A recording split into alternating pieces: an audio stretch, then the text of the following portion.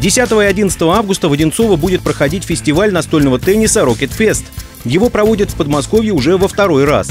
В этом году число участников и регионов, которые они представляют, значительно выросло. Призовой фонд также увеличился практически вдвое – до 600 тысяч рублей. 10 августа пройдут командные соревнования, а 11 состоятся игры в личном зачете. При этом в одиночном разряде соревнования будут проводиться в трех дивизионах – чемпионский, стандарт и челлендж –